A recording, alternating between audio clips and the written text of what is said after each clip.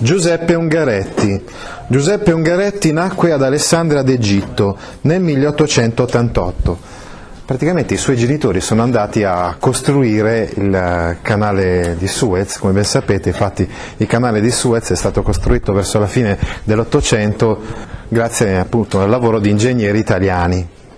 Loro erano originari di Lucca e quindi lui passò la prima fase della sua vita l'infanzia, l'adolescenza, in Egitto, ad Alessandria d'Egitto.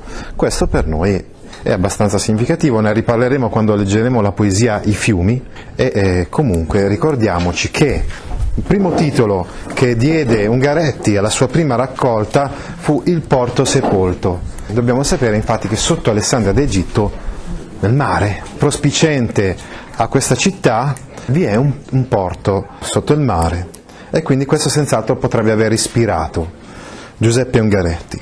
Poi, quindi abbastanza giovane, egli si trasferì a Parigi, siamo agli inizi del secondo decennio del 1900, 1912.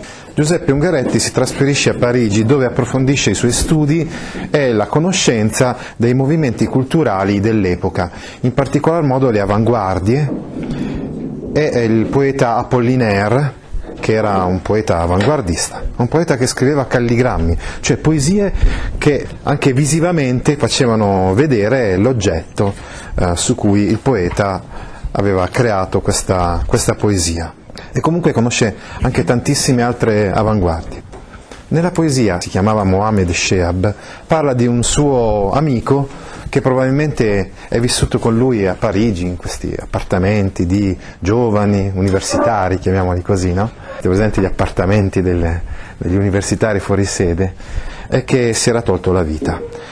Eh, senz'altro questa fu un'esperienza importante. L'esperienza di Parigi, come dice ancora una volta nella poesia I fiumi, fu quella che fece conoscere a Ungaretti se stesso e anche dice che in quel torbido mi sono rimescolato e mi sono conosciuto.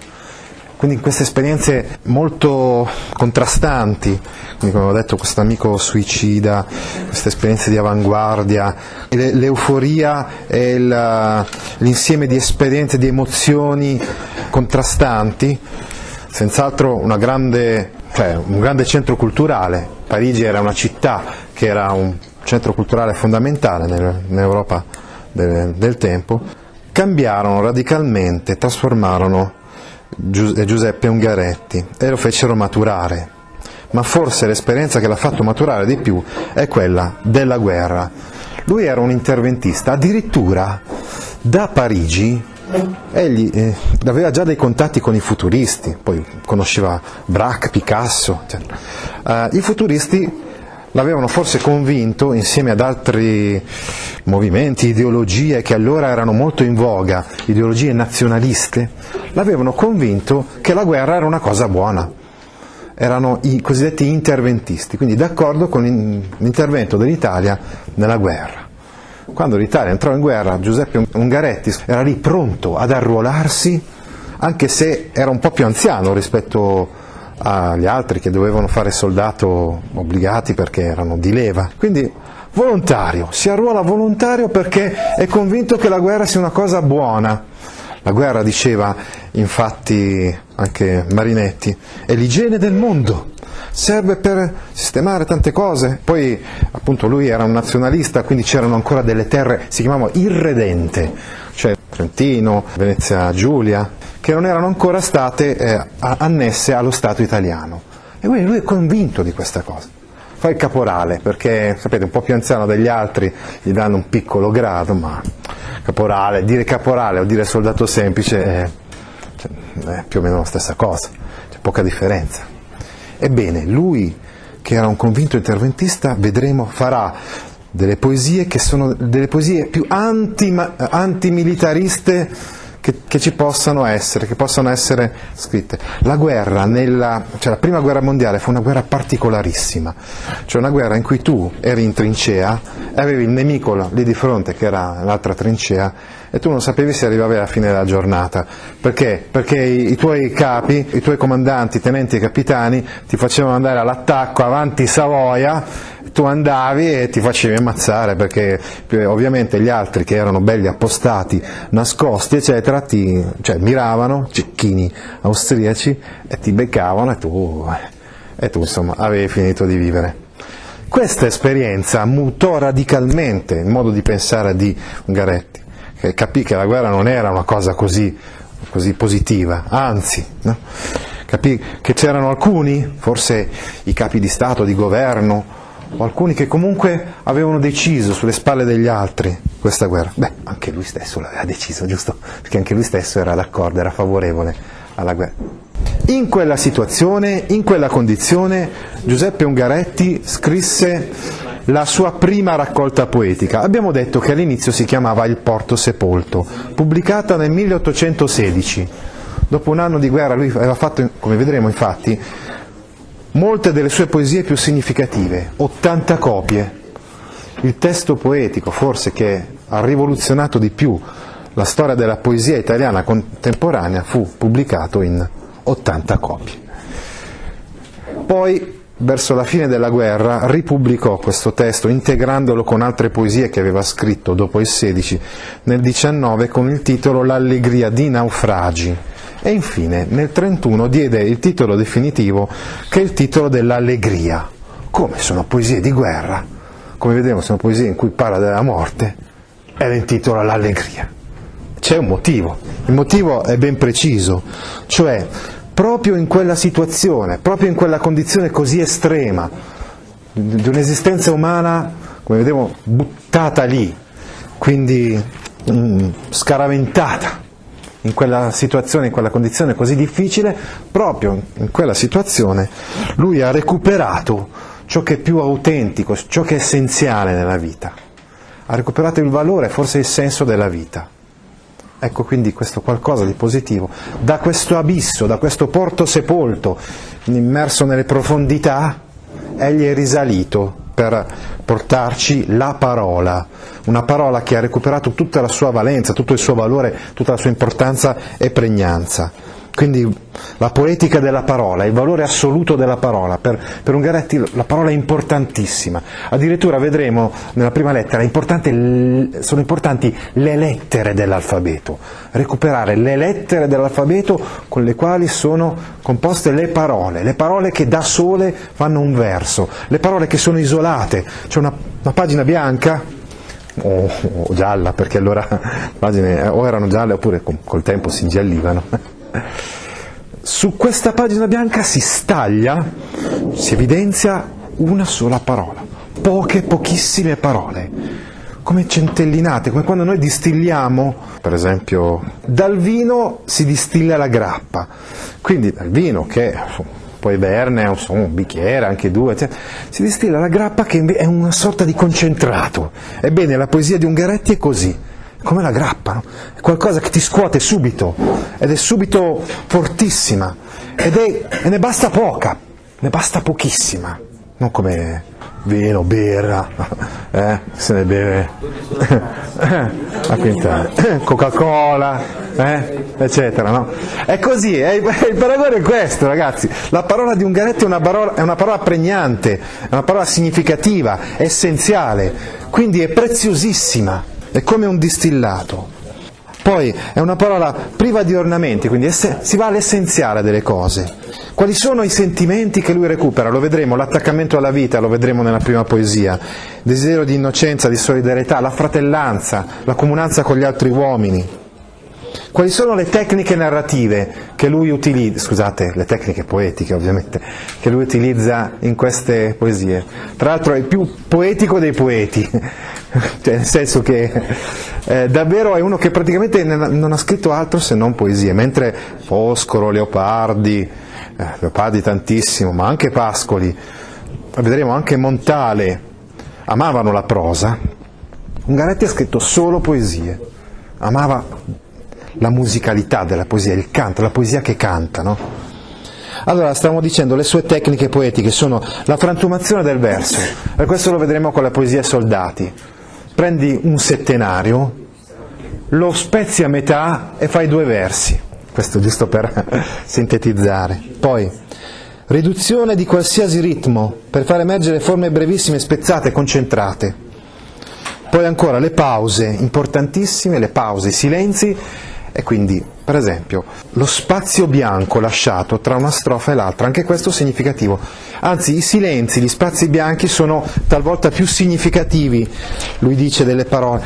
Ecco, lui veniva fuori da un periodo in cui c'erano tanti poeti che scrivevano poesie lunghe, lunghissime, o le poesie retoriche di D'Annunzio o le poesie dei crepuscolari molto molto lunghe, poesie narrative, lui invece preferisce caricare la parola di grandi significati e quindi selezionare le parole. Ecco quindi lo sforzo di limatura, la relazione suggestive tra immagini e suoni, tra significato e significante, vedremo le allitterazioni, vedremo quindi queste figure di suono, le abbiamo già viste in Pascoli, qui sono più limitate, però quelle che ci sono ovviamente sono significative. Poi ancora, le domande sul significato della vita, egli parte da una condizione di ateismo, anzi direi che l'esperienza di Parigi ha approfondito il suo ateismo, quindi arriva a questo abisso. L'esperienza della guerra gli fa recuperare un senso, un significato della vita fino al punto in cui arrivò negli anni successivi ad una conversione, quindi al ritorno alla religione cristiana. Poi ancora nel periodo successivo, oltre a questa conversione, il fascismo con cui ebbe purtroppo direi un rapporto, cioè un Mussolini, addirittura fu redattore di un giornale fascista all'estero, perché aveva questo desiderio di ritorno all'ordine, alla tradizione e, e lo vide, quindi sbagliando, lo vide realizzarsi nella politica fascista. Eh? Perché il fascismo era un regime e quindi magari può darsi che, che alcune cose, tipo per esempio boh, un ordine, nella storia, nella politica sia una cosa giusta, però se tu poi dopo impedisci ad un altro di esprimersi, poi picchi a morte uno che la pensa diversamente da te, allora eh, diventi oppressivo, come è successo ai fascisti che hanno ucciso Matteotti, che era un socialista, perché la pensava diversamente da, da loro. Eh, poi sbagliandosi perché, innanzitutto per questo, regime, la mancanza di libertà. Oh, la libertà è importantissima, eh, che cavolo. E poi per tutto quello che è venuto dopo con il fascismo, in particolar modo direi l'antisemitismo, l'adesione alla guerra, quindi per i disastri che sono stati compiuti durante il fascismo, senza togliere alcune cose invece positive dal punto di vista economico. Dovete sapere, per esempio, giusto per dirne una, che mentre tutto il mondo nel 29 subì un crollo economico tremendo, crollo della borsa di New York, siccome combinazione lo Stato fascista era autarchico, quindi contava solo sulle risorse, i mezzi italiani, combinazione l'Italia fu uno degli stati che sentì meno la ripercussione di questa crisi economica. E poi, vabbè, se vai so, a Latina o a Lecce o, o in altri posti sicuramente ti diranno che sono state fatte delle cose buone, positive durante il regime fascista a livello di opere pubbliche, però ripeto rimane il giudizio sostanzialmente negativo per quegli aspetti, quegli aspetti della mancanza di libertà, per il, è un, regime tirannico, i regimi tirannici che siano eh, di destra o di sinistra, eh, Mussolini, eh, Pinochet, eh, Saddam Hussein, eh, Che Guevara, oh, Fidel Castro, questo, quest'altro, Stalin, Lenin, eh, Hitler, Mussolini sono sempre comunque da condannare. Leggiamo cosa dice Ungaretti in un articolo del 1930, spingendolo a modificare la sua poetica. Prima scrive, abbiamo detto, poesie molto piccole, brevi, essenziali, poi delle, scriverà delle poesie molto tradizionali, con gli endecasillabi, con eh, la musicalità e l'armonia della poesia tradizionale. Lui dice, le mie preoccupazioni in quei primi anni del dopoguerra erano tutte tese a ritrovare un ordine, anche nel campo dove per vocazione mi trovo più direttamente compromesso, cioè la poesia. La memoria a me pareva un'ancora di salvezza. Io rileggevo umilmente i poeti, i poeti che cantano, non cercavo il verso di Jacopone o quello di, di Dante o quello di Petrarca, cercavo il loro canto. Ecco quindi che potremmo dividere l'opera di Ungaretti in due grandi momenti. Primo momento l'allegria, questa poesia innovativa, quindi sintetica, essenziale, e secondo momento tutte le altre raccolte poetiche di Ungaretti, da Sentimento del tempo in poi, che è una poesia che riprende la tradizione, una poesia che poi è, ha ispirato l'ermetismo, che fu una corrente poetica italiana a cavallo fra le due guerre. Ungaretti torna a utilizzare il verso tradizionale, reintroduce la punteggiatura. Prima, queste poesie che leggeremo della, dell'allegria non ci sarà punteggiatura. Costruisce le strofe seguendo una sintassi complessa. Quindi prima c'era un'essenzialità, un'immediatezza, adesso nelle altre poesie, delle altre raccolte poetiche ci sarà una complessità, un'elaborazione, l'ipotassi, la subordinazione non è più il poeta soldato. La poesia di Ungaretti rifletterà ancora sul cammino dell'uomo nella storia. L'esperienza della seconda guerra mondiale, rivissuta quando lui poi capirà ovviamente l'assurdità del nazismo, del fascismo, eccetera, e, sarà a Roma, perché prima andrà in Brasile dove perderà purtroppo un figlio e sarà un'esperienza molto brutta questa per lui, poi ritornerà a Roma acclamato come accademico, ma durante la seconda guerra mondiale assisterà a dei bombardamenti. E quindi scriverà ancora una volta delle poesie sulla guerra, così come aveva fatto sulla prima guerra mondiale, anche se lì era un soldato nella prima guerra mondiale e qui invece semplice spettatore. E queste ispireranno la raccolta poetica del dolore, 1947. Ungaretti poi non Uh, non ebbe il, il, riconoscimento del premio Nobel che invece ebbero altri quali appunto Carducci, Pascoli, Montale, Quasimodo, eccetera. Forse anche per quella adesione, vi dicevo, per quella amicizia proprio addirittura con Mussolini che ebbe all'inizio almeno del fascismo cioè all'inizio, proprio quando nacque il movimento fascista lui era insieme a questo movimento, poi dopo ovviamente i, i sentieri si, si allontanarono, anche perché come abbiamo spiegato, un poeta che scrive delle poesie sulla guerra di questo genere non può aderire al militarismo fascista. Ti interessano file di questo genere? Allora vieni su www.gaudio.org e iscriviti alla newsletter A Scuola con Gaudio all'indirizzo www.gaudio.org/news.